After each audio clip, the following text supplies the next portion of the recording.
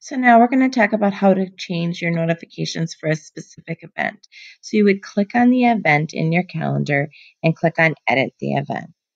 From there, you are then going to be able to change um, your notifications from there. So you could um, go to more details and you see your notifications down here. So you're going to be able to add a notification or change your notifications. So you created for your calendar before in the previous lesson how you wanted all of your notifications. Now this would be a specific one for just this event.